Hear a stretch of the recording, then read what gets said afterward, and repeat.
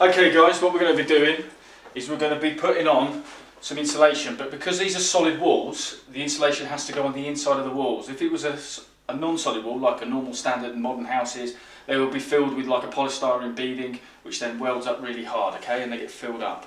Or they can put with like some fiberglass sheeting in, okay. But this time, what we're going to be doing is putting some metal strips on here, and then on top of that, we'll go uh, poly- like um, polystyrene backed plasterboard.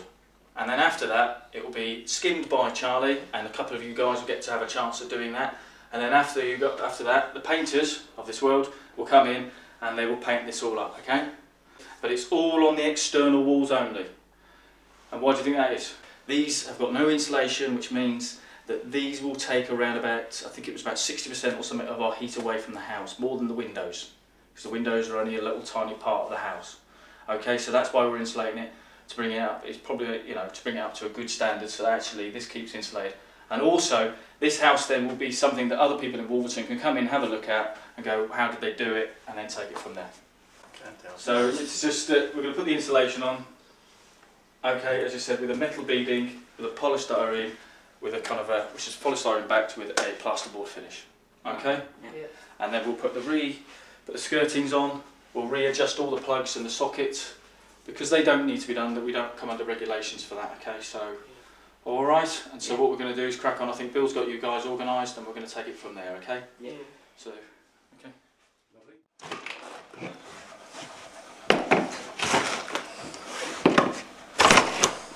Okay, now Bill.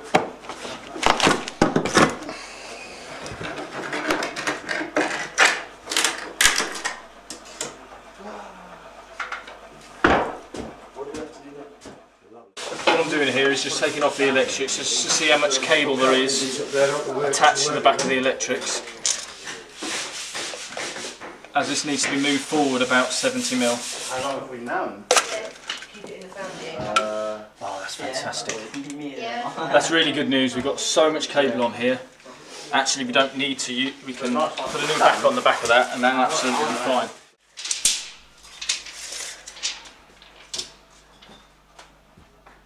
I've measured up the wall to find out the height of the floor to ceiling, and now I'm marking out a couple of the. Uh, these are the wall battens, as I was explaining earlier on. The these are the wall battens that go across. They've got an indent groove here, which we'll put some pilot hole drills into, and then these will be drilled to the wall. So at the moment we've just got a tin snipper, which is a bit uh, very sharp.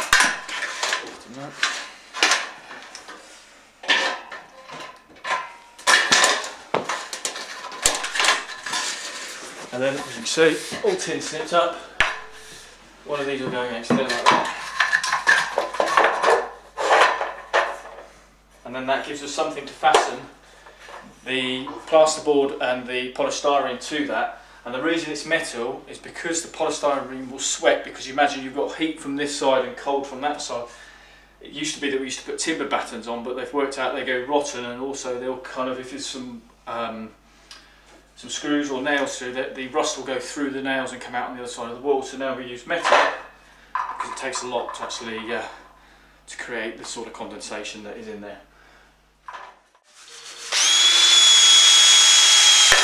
That's it. All right.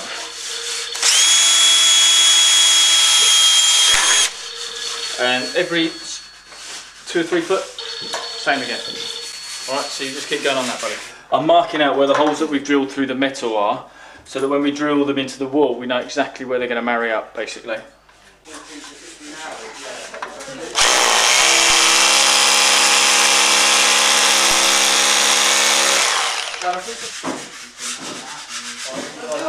Just putting the Rawlplugs in now.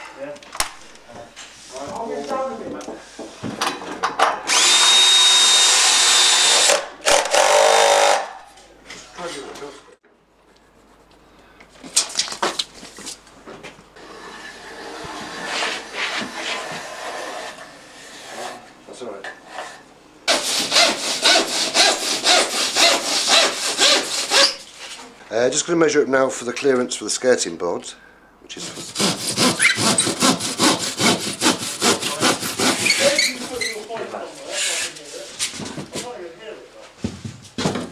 That's because it's caught on the carpet. Right, So if to- Tommy just lifts up. Right, this side's not. I don't want what to that off.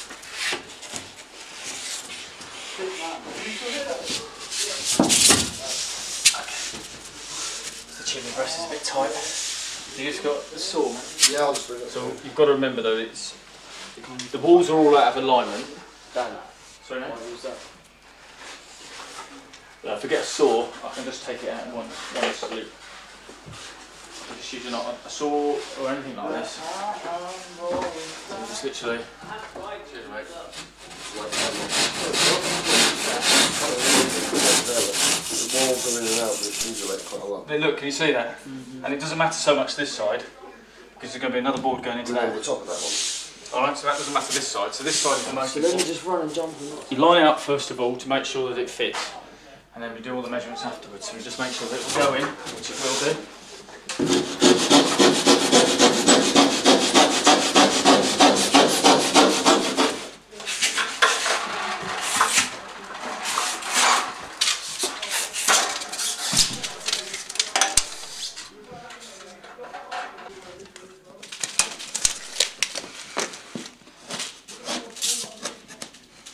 Because there's a socket just in the corner there, uh, we've got to make a, a little hole to allow the wires to come through so that when we put the actual main box in there, we know it's exactly where it needs to be. So all I'm doing at the moment is marking out for a corner, just marking out for it, and then we'll cut it out. This here is a plasterboard knife, like a saw or a plasterboard saw, whatever.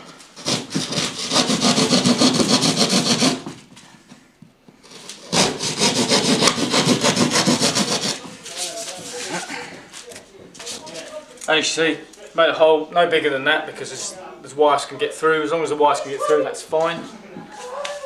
Too big a hole and you might be out of alignment for where the actual wires need to be.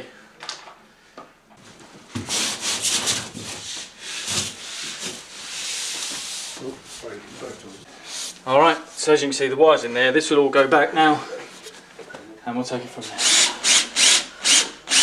there. Right, don't go any lower than that. Look, it's sinking in. It will do because at the moment it's sprinking, but when I show you, don't go any lower, it's because it's quite springy. Using those black screws there, follow the line down, same on that side, follow the line down. They're uh, called drywall screws and they just, it, the reason they use nowadays instead of nails is because they literally are quicker, they're a lot faster aren't they than with nails, whereas actually you can do this on your own, whereas in the old days with nails you had to get somebody to hold the board and everything else like They that. So longer.